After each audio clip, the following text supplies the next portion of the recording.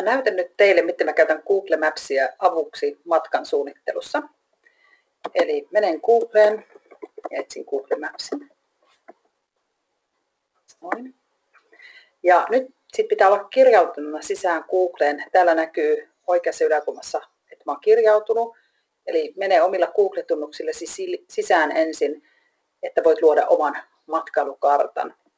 Jos sulla ei ole tunnuksia, niin tunnusten hankkiminen on ilmaista vaikka gmail.com tilien kautta voit luoda tunnukset.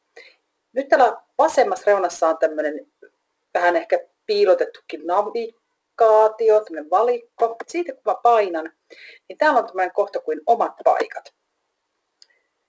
Ja tästä valitaan ylhäältä kartat. Täällä näkyykin mun vanhoja matkakarttoja paikoista, missä mä oon käynyt. Ja nyt mä lähden luomaan uutta karttaa. Nyt tällä hetkellä tämä kartta, kartta on nimetön. Pannaanpa sille nimi Pari. Näin. Ja nyt mä lähden etsiin sitten Pariisista kohteita, missä mä haluan käydä. Tehdään nyt tämmönen oikein perusturistipaikka. Haetaan vaikka ensin, no tuolla Tour Eiffel näkyy kartalla heti. Tästä mä laitan lisää karttaan ja se tulee tuollaisena sinisenä täplänä.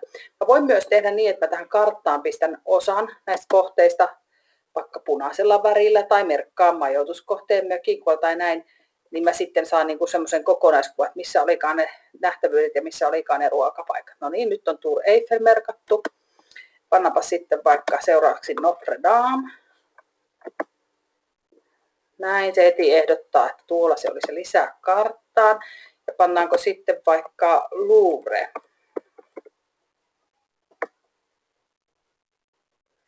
Ja näin. Ja nyt jos me täältä oikeasta alakuvasta zoomaan vähän ylöspäin, piilotan tuon laatikon tuosta. Zoomaan nyt tätä Pariisin karttaa, niin nyt mä näen, että okei, Louvre ja Notre Dame on edes vähän samalla suunnalla.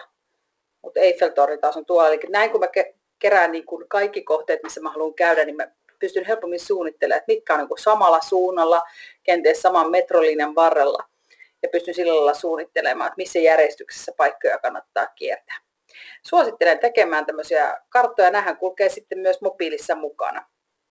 Tämä on kyllä tosi kätevä tapa hahmottaa sitä kaupunkia paperikartan ohella. Tykkään myös paperikartoista.